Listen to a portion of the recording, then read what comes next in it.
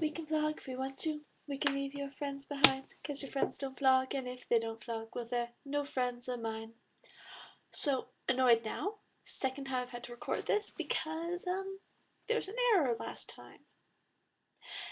Anyways, um, I don't actually really have much to tell you because, as you guys know, not much happens. Um, I just really don't want to do my homework, of which there's a lot. So, uh, socializing, talking to you. Yay. Um, so yeah, that's that. A lot of homework right now. I have a job now. That's exciting. I am I'm working at a market stall Saturdays. It's very fun. I like it. Um, other things, other things that are happening, not much.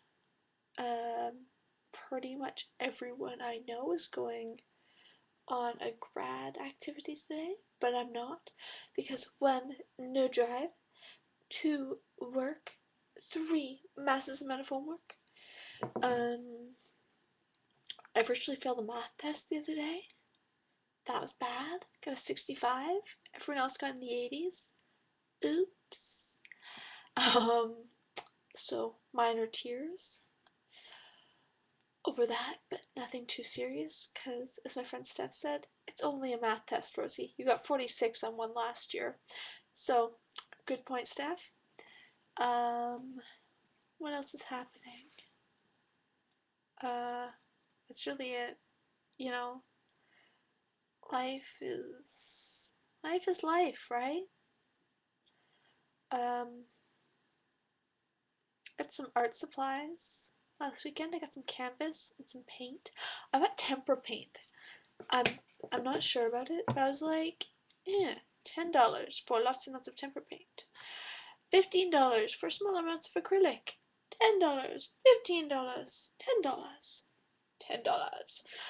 I don't know why I'm using a weird voice, but I am. Anyway, so um, I got a whole bunch of tempera paint, and that's really awesome, but I'm not sure how I like it yet. I, I'm really not sure, but uh, we'll see. And uh, as soon as I have anything done, I will show you. But I haven't actually finished anything yet. Aforementioned homework. So yeah, that's that. I hope you guys are all having a good Thanksgiving weekend and a good fall in general. Um, I'll see you sometime later. Yeah? Yeah? Anyway, this has been an encounter with Nerdy New Brunswick.